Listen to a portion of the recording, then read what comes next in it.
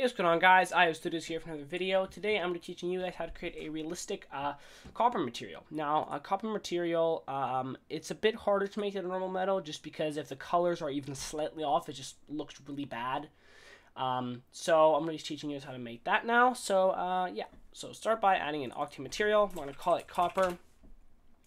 We're just going to uh, apply to our object here. Add basic. I'm going to set it to a uh, glossy material index 1 for all metals. And uh, we're going to go ahead and grab the diffuse, so an RGB spectrum for the diffuse. Diffuse, we're going to set it to um, 13.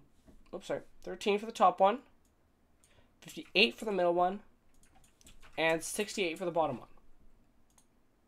Okay, like that. Grab another one, plug it into the specular. I'm going to uh, go ahead and for the hue, I'm going to use 13 as well again. Saturation, we use 58. And the value, sorry, 80 for the last one, and we should be actually using 39 for this one, sorry, 39. There we go. And already, you know, it looks okay. Um, but we need to actually grab a float texture here. Roughness.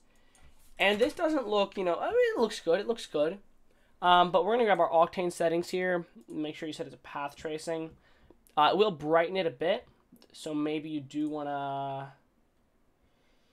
see here. Maybe you do want to grab your... See your index. You can use either an index of 8 or 1. Usually 1 works best. They're very similar, but... Um, you guys can do that. And if it's not looking too great Maybe decrease this to 75. I'd say that looks pretty good. Yeah, good enough. Um, but we can actually make this a bit better. So we can go ahead and grab ourselves a gradient. And um, we can make it a bit more realistic. This is very basic and works fine, but we're going to add a little Fresnel. So uh, RGB spectrum, we're going to plug into the start. We're going to make this a complex. Delete both ends of the gradient.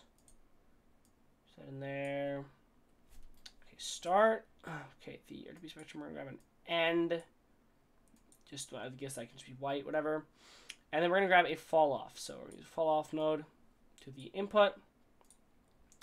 Uh, and that's pretty much it. Now I'll show you. The difference is very subtle. If you just look on the edges, when it's reflecting, just right on the edges, and I'm just to demonstrate here the difference. You can see this kind of white here. I'm to get, to let it render for a second. Okay, store render buffer.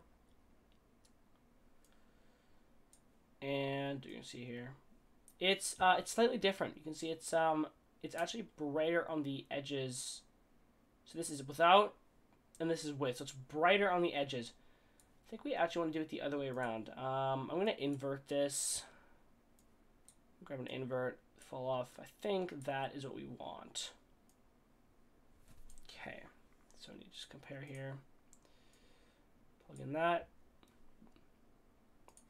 Maybe we do not want an invert. Okay, that looks uh, looks pretty good, I'd say. So you tweak the skew factor. That's too much. Maybe 8. Oh, there we go. I'll store render buffer. Again, I'll, I'll just show you guys the comparison here. Just so you know the difference what the Fresnel is doing.